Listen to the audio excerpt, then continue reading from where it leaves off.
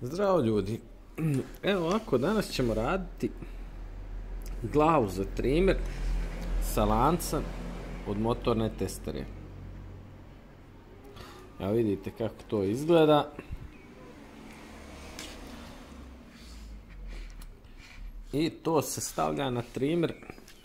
Odvrnete ova ovdje dva šrafa. Dobijete podlošku. Vijak je ovaj standardni onaj streamera što ide.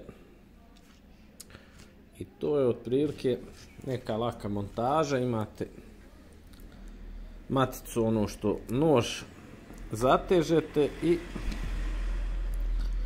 s njom pričvrstite, vratite dva imusa i to je to. E sad, da vam objasnim nešto, zašto ovo da ne stavljate na, na vaš streamer. Ovo je glava čistač koja čisti staru travu ili mladice kida. A zašto je loša za vaš trimer? Pa loša iz razloga zato što je ovo teško i, i kad udari u nešto trza kardan i kardan glavu. S tim loše utiče i na vaše kvačilo. Prema tome, prije nego što stavite ovo na neki jeftini trimer, imajte to u vidu da nije za njega.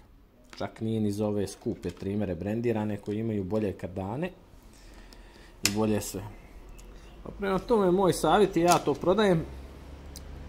Obično kad neko dođe, ja kažem da ne valja.